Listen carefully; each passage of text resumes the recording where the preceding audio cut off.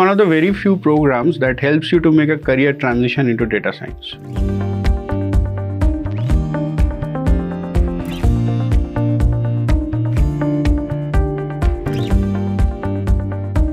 Hello, I'm Manas Gupta. I'm currently head of research at a fintech startup alphastream.ai and I have about two decades of experience in investment research. So I was looking for a transition into data science and then I found out this course. And the great combination of great learning and UT Austin really impressed me. On the top of it, I got very positive feedback from the past learners. So my learning experience was fantastic.